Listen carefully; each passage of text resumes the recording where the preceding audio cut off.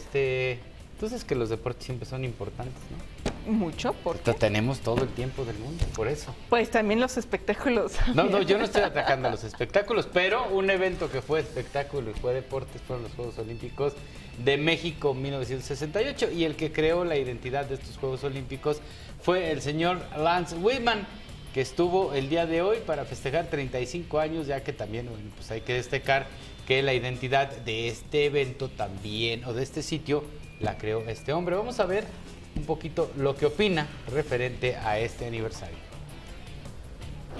where I discovered we had to work with the five rings, you know, the five rings of the Olympic, uh, the official Olympic symbol. And I discovered that I could integrate the geometry of the 68, the six and the eight of the year of the event with that. And that was the beginning.